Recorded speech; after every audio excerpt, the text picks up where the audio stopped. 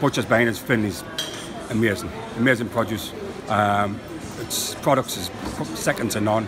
It's all English as well. That's what I love about the place. It's all English, so it, just, it never travels far. Why is it better to go somewhere like that in the supermarket?